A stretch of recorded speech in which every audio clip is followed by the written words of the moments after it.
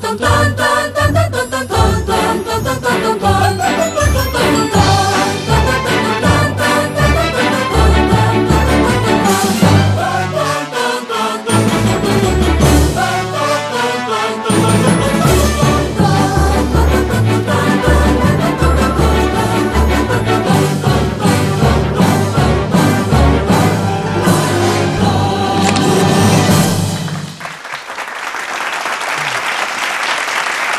السلام عليكم.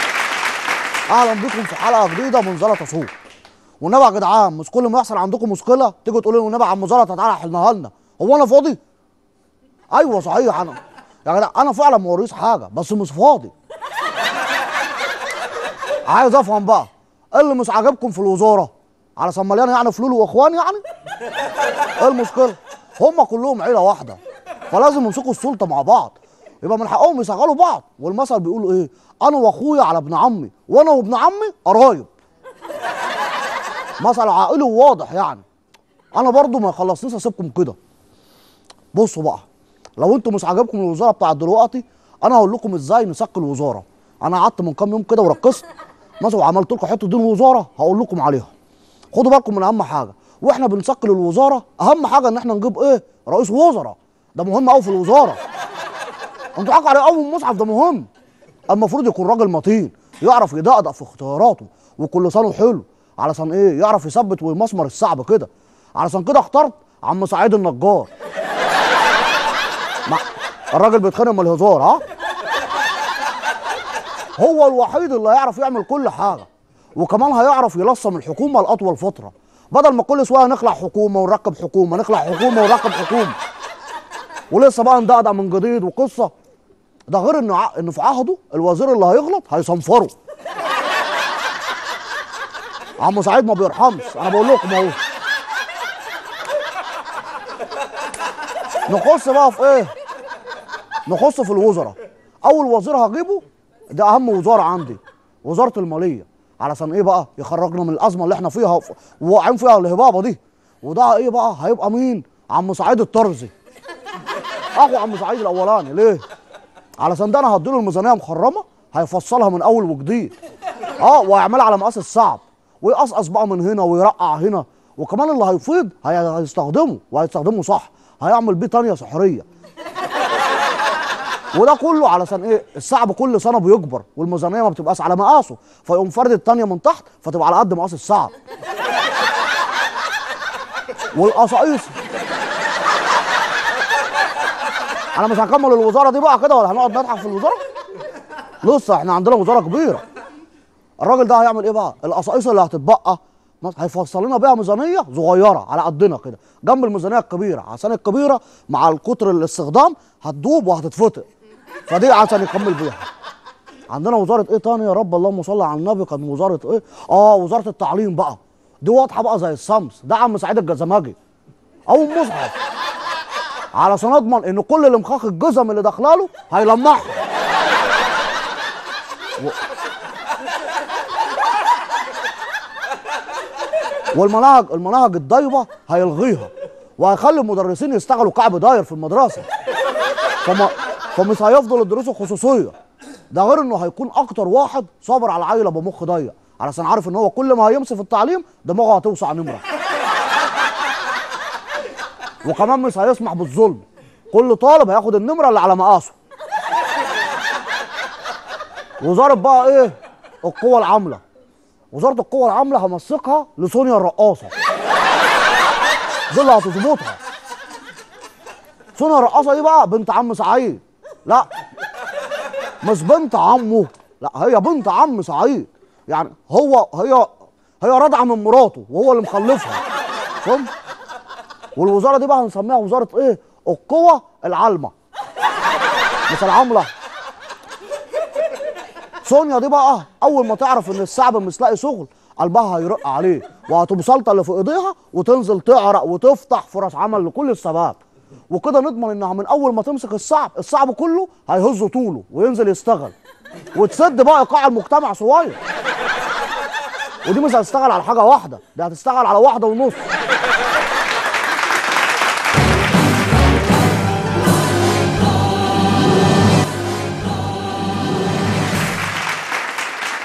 وزارة إيه بقى؟ وزارة إيه اللي هنخش فيها؟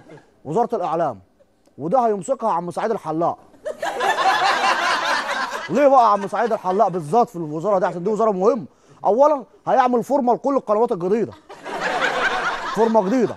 علشان إيه بقى؟ القناه تبقى ماشية على الموضة. البرامج الوحشة هيجيبها على جنب. البرامج والبرامج الحلوة هينزلها لقدام. بس إيه؟ بعد ما يقصقص الحتت الهايصة فيها. فقرات الهايصة. ومش هيفرق ما بين قناة وقناة كلهم هيسويهم مع بعضهم واللي لسانه طويل هيقصره له. والقناة اللي هتقل أدابها على الحكومة هيسرحها. معروفة. أنا كان نفسي أمسك الوزارة دي والمصحف بس أنا أقرع فمش هينفع. وزارة فرحان أنت بالاقرع ده فرحان. المصحف شكلك لابسه باروكه أصلا. ماشي. وزارة إيه بقى؟ التجارة الخارجية.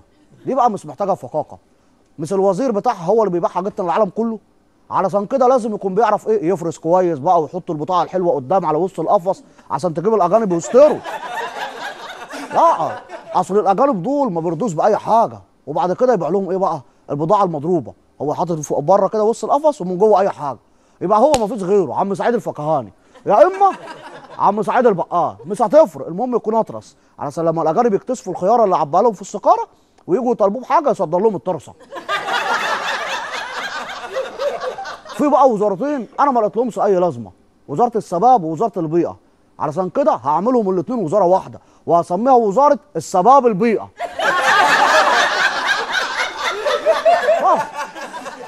ودي ماشي. الوزارة دي بقى همسكها للواد اللي هو الفرحان بشبابه ده اللي هو أصاحبي اللي عامل كده أهو. عارفينه. في عندنا وزارة مهمة قوي ودي بقى هتجيب هتجيب فلوس لمصر. اللي هي وزارة إيه؟ وزارة الطيران. وزارة الطيران دي بقى جيت قعدت أفكر فيها. قلت دي ما ينفعهاش غير واحد جامد. ففضلت أجي له كده يجي لي كده. أجي له كده يجي لي كده. قلت بس ما ينفعش يمسكها غير طيار. بس طيار بجد مش هزار. قمت عملت اتصالاتي وكلمت أسرع دليفري في مصر علشان يبعت لي أحسن طيار عنده. آه طبعا. هو أنتوا فاكرين أهبل؟ هجيب طيار بحقه حقيقي علشان يقعد يتنطط عليا ويقول لي أنا خلفيتي كبيرة. ده غير ان الحكومة مش هتستحمل مصاريف. كل يوم هيطلب لك بقى بلوفر جديد وكل شوية يقول لك عايز اطلع اعمل عمرة. لا وده مش بيعمل اي عمرة زينا كده في مكة والمدينة. ده يابا لازم يعمل عمرته في دبي. وانتوا عارفين وانتوا أصلا عارفين عمرة دبي غالية إزاي. ووقت ما تزنقه ومسكت عليه غلطة وواجهته بيها هيقول لك إيه؟ هي اول ما اول ما تمسك عليه غلطة وتقفشه جامد. هيرد عليك ويقول لك آه آه. وياخد اول طياره ويخلع ويقول لك راح اعمل عمره تاني. انما عم سعيد الطيار هروقه. هم جوز جنيهات وعلبه سجاير وهيشتغل وهيبوس ايده وسط وداره ويشتغل زي الفل. الوزاره اللي جاية ده أنا خايف منها. دي محتاجه مجهود. وأنا فضلت بقالي أربع أيام ما بنامش عشان الوزاره دي. ودي مهمه. ده عارفين دي وزاره إيه بقى؟ دي بقى وزاره الداخليه. وزاره الداخليه ما ينفعش يمسكها غير واحد بس. إبراهيم الابيض. هو عارف كل المجرمين وهيعرف يظبطها. بس أنتوا بقى اللي حظكم وحش. أنا طلعت التليفون لسه هكلمه عشان يجي الفيلم خلص. بس فقلت مفيش حد يعرف يمسكها غير هشام الجاحد. ده أصلا طباخ وايده تتلف في حرير. بيعرف يعمل كل حاجة. اول حاجة هيعملها لما يمسك وزارة الداخلية هيعجن كل المجرمين. وهيصفي الظباط. الظابط اللي ليه في الكوسة هيقوره في وسطه. ده غير ان هو مش هيستريح. اي مشكلة هتهدد امن البلد هيصيط لحد ما يحرقها. مش البلد المشكلة. وكمان عارف كل المقادير. يعني المواطن اللي هيعدي مقداره هيفرمه. ولما تحصل مظاهرات مش هيرمي بقى قنابل غاز ومسيله للدموع والكلام ده. لا. هيلموا العساكر يقعدوا يقصروا بصل ويرموه على المتظاهرين. عشان ما حدش يقعد يقول لك بقى حقوق الإنسان وبتاع والكلام ده. ده غير بقى إن هو في قضايا الرأي العام هيعرف يطبخها ويسبقها والصعب ياكلها بالف هنا وصفر. ولما الأمن يستقر على قضية الخير هيعم البلد. وسيادة الوزير بقى يبتدي إيه؟ يغرف للصعب ويديله يغرف للصعب ويديله قسي بقى يحمر له ويسمر له ويحصي له ويصبع له. خد خد خد.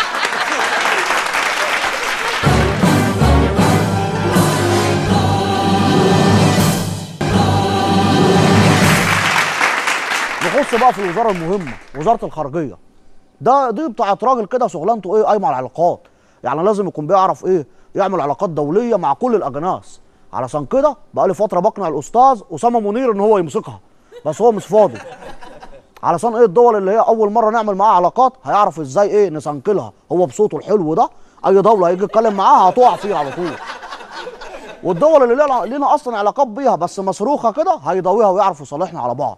ولو سفير دولة غضب كده واتقمص وخد هدومه وراح عند أمه في بلده هيعرف برضك يلغيه ويقول له لا ارجع وبلدك وبتاع وإحنا واحد.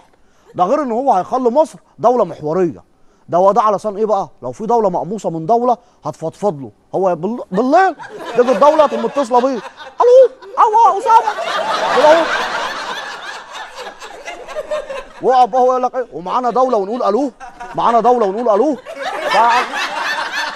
هيعرف هو هو بتاع الحتة دي. بس للأسف بقى أنتوا فرحانين. اهو أستاذ أسامة أصلا مش موافق. وقال لك مفيش غير عم سعيد العاطفي. يعني عشان هو إيه بيعرف في الشغلانة ده أكتر مني. ربنا يرزقه يا رب. ربنا يرزقك يا عم أسامة. أهم وزارة عندنا وزارة الدفاع. أنا قعدت أفكر فيها كويس قوي إن الدفاع أكتر حاجة مهمة في البلد. فلقيت ان ما ينفعش يمسكها غير واحد بس الكابتن وائل جمعة. واد راجل كده ويقدر يلعب الماتش كله من غير ما يهنج. بس هو في مشكلة واحدة بس في وائل. مش في الفورمة اليومين دول وقرب يعتزل يعني. يعني هو ممكن يبقى أول ما يجي له صد عضل تلاقي العدو راح هاجم علينا. وما يلعب مش هيعرف يفتح ما جنبه سبرنت العدو هيسبقنا. فقلت ما فيش غير واحد بس هو اللي يمسكها عم سعبان عبد الرحيم. آه هو سعبان عبد الرحيم. ده أحسن واحد هيجيب العساكر بتاعتنا وينفردهم كده على الحدود. آه وبعدين اللي هيحاول يعدي الحدود عندنا هيقوم مطبقها عليه. امال ده غير إن هو ليه هيبة. يعني أول ما يبخ في العدو كده العدو هيكس وساعة الحرب أول ما هم يقولوا هو وداخلين هو يقولوا إيه؟ كده اهو وهو وهو صوته حلو. أول ما العدو هيسمعه قام عامل كده وراجع. فاضيين يمسكوا سلاح ويضربونا. وزارة السياحة دي بقى. دي بالذات هسيبها فاضية. إن هي عايزه مرشد والمرشد بتاعنا مش فاضلنا اليومين دول. وزارة الصحة هسيبها برضه فاضية لأن دي المفروض اللي يمسكها يخلي الصعب صحته بومب كده ويرد له الروح. بس للأسف سونيا رقاصة مسكناها وزارة القوى العالمة فمش مش هتقطع نفسها يعني ما بين الوزارتين.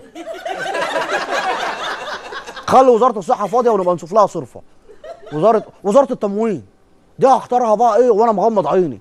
مش دي بتاعت العيش والمثل بيقول لك إيه؟ إدي العيش لخبازه. بس هجيب عم سعيد السحات مثلا هو ده احسن واحد علشان ده اللي دق الجوع وعارف إن الناس لازم تاكل عيش. بالنسبة لأ لوزير الثقافة لازم تكون دماغه عالية وبيلف كتير. يعني يا دكتور يا حساس. آه. وأنا بقى اخترت عم سعيد الحساس إن هو أحسن واحد بيلف وبيلف بسرعة قوي وبعدين مش هيلف وبس ده كمان هيعمل لنا بفرة في ثقافتنا. وهيزود بقى إيه التبادل الثقافي لأنه هو مؤمن بثقافة طب الثقافة مناولة مش مقاولة. بالنسبة بقى لوزارة العدل همسكها لأي واحد فاضي. هو الفاضي بيعمل إيه؟ ما بيعمل قاضي. بس محلولة. وزارة الكهرباء بقى رشحوا لي فيها العريان علشان يمسكها. فأنا قلت لهم لا يا جدعان ما ينفعش. هو أنا غطي سلوك العريانه ولا غطوه هو؟ ما فيش غيره هو اللي ينفع يمسكها دلوقتي. عكاسة. علشان هو أصلا عنده كهرباء زياده في المخ. آه. فالكهرباء بقى الزياده اللي في مخه دي. أول ما النور يقطع نقول له عكاسه هات من اللي في مخك. يقوم مطلع على طول. إحنا عايزين مصلحة البلد. بقيت بقى الوزارات. أنا لقيت إن أنا ما عنديش وقت وعشان ألحق أجيب برنامج عشان أعمل لكم الحلقة فقلت إيه أنا مش هعمل وزارات بقى. أنا هاخد إيه مش هجيب حد. أنا هجيب الوزارة بالقافية على الوزن كده والقافية. يعني مثلا وزارة البترول محتاجة حد لابس أفرول. بس صحيح. وزارة الاستثمار محتاجة واحد بياكل منبار على الوزن برضه. وزارة الأوقاف وزارة الأوقاف محتاجة واحد من ربنا بيخاف. وزارة الاتصالات محتاجة واحد بيفك السفرات. الحمد لله خلصت التشكيل الوزاري بتاعي وطبعا دلوقتي الشعب مش هيوافق على التشكيل الوزاري. أنا عارفكم عارفكم ما تقعدوش بس تقلبوا وشكم آه ليه بقى مش موافقين؟ عشان كلها صناعية زي حالاتي. ها وهيقول لك ما أنت أصل أنت جايب الوزارة كلها من فصيل واحد. حرام عليكم. دي ناس تعبانة. ما تنسوش إن أنا نقاص وسبع صنايع والبخت ضاع أقول ابوكم بقى أنتوا هتعرفونا ليه